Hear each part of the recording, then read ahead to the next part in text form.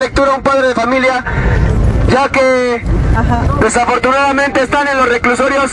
Les digo desafortunadamente porque nos han venido, nos han estado diciendo que primero en el oriente, que luego en el norte, nos están tratando de desmovilizar en todo, en todo momento.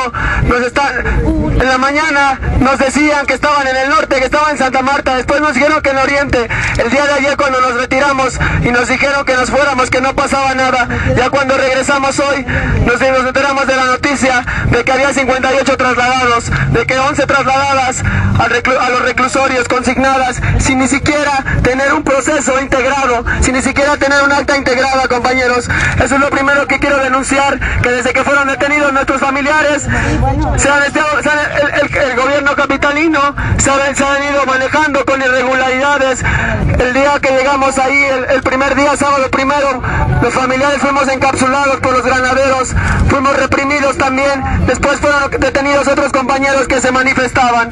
Así que el día de ayer hicimos un comunicado, disculpen por la voz, pero de tanto estar ahí, de no dormir, hemos estado al pie del cañón. Este comunicado al día de hoy hay unas actualizaciones, pero se los voy a leer íntegro como quedó ayer y después hacemos las precisiones.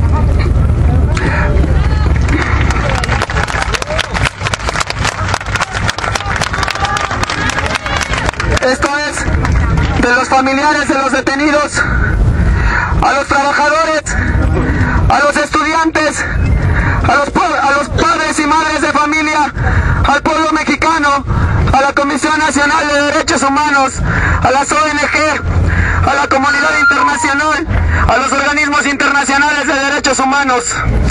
Denunciamos que el día primero de diciembre del presente año, alrededor del mediodía, nuestros familiares y amigos fueron reprimidos por los cuerpos policiales del Estado, el gobierno federal y del Distrito Federal, la Policía Federal, el Estado Mayor Presidencial y la CSP del GDF así como que fueron trasladados a la Agencia 50 del Ministerio Público, ubicada en la esquina del Doctor Lavista y Doctor Vertis, donde se encuentran privados de su libertad y acusados del delito de ataque a la considerado como uno de los delitos más graves, incluso más grave que los delitos de terrorismo y sabotaje, el cual se condena hasta con 30 años de prisión. Hasta el momento hay más de un centenar de detenidos bajo el cargo de ataque a la paz pública, así como 80 detenidos más que aún no se les dictamina el delito, ya que fueron detenidos en la protesta pacífica mencionados, que se llevaba a cabo sobre el eje central Lázaro Cárdenas.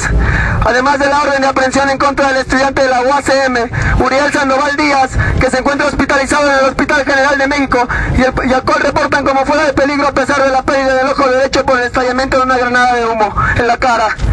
Repudiamos los actos represivos, así como las arbitrarias detenciones de las que nuestros familiares son víctimas. Esto deja claro que el gobierno del Distrito Federal, encabezado por Marcelo Ebrard, dio orden directa para detener a toda persona que se encontraba transitando en el primer cuadro de la ciudad durante los eventos relacionados con las protestas por la toma de posesión de Enrique Peña Nieto. Responsabilizamos directamente a Marcelo Ebrard y Enrique Peña Nieto por cualquier daño físico y o psicológico que resulte de esta violación a las garantías. Directamente a Marcelo Ebrard y Enrique Peña Nieto por cualquier daño físico y o psicológico que resulte de esta violación a las garantías individuales. Denunciamos las irregularidades que se han suscitado a partir de que nuestros familiares y amigos fueron detenidos y posteriormente trasladados en las horas posteriores. No hubo acceso para percatarnos de la integridad de nuestros familiares hasta después de la medianoche, sin posibilidad de proporcionarles alimento y ropa para el frío. Afuera de las instalaciones del MP, fuimos rodeados y hostigados por un operativo de elementos del cuerpo de granaderos de la CCP, que nos cercó hasta aproximadamente las 4 de la mañana. Perdón, compañeros. En que salieron los últimos familiares de visita, la cual en, los, distintos casos no duró más de tres minutos. Hacemos un amplio llamado a la sociedad en general a, los sindicatos, a los trabajadores, a los estudiantes, a las organizaciones sociales y políticas, a los colectivos independientes, al movimiento 132, a las amas de casa, a los padres y madres de familia, para que se sensibilicen y rodeen de solidaridad nuestra justa petición. Les hacemos un llamado a que se manifiesten públicamente desde sus centros de trabajo, escuelas y barrios en todo el país y en el mundo. Los padres de familia, hermanos, familiares y amigos, compañeros de los detenidos, los necesitamos, compañeros. ¡No están solos! ¡No están solos! ¡No están solos! ¡No están solos! ¡No están solos! ¡No están solos! ¡No están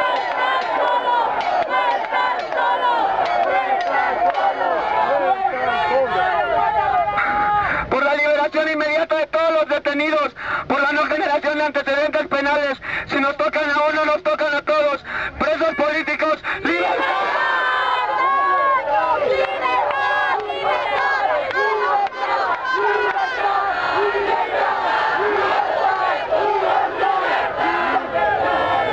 Compañeros, Además de todo, de los... Síguele, síguele, síguele. de los detenidos que ya están en los reclusorios, hace rato recibí una llamada de que no se está recibiendo, información de nada. No nos dicen dónde están nuestros familiares, si están adentro o no. No sabemos nada de los familiares. Y también denunciar que al compañero Uriel Sandoval de la UASM hay un policía federal afuera de su cuarto, compañeros. A pesar de ser agredido por el equipo antidisturbios de la policía, por los infiltrados, compañeros. Eso es lo que queremos denunciar. Necesitamos unirnos. Yo nada más quisiera pedirles por último un solo grito unificado de todos los que estamos aquí. ¡Presos políticos! ¡Políticos!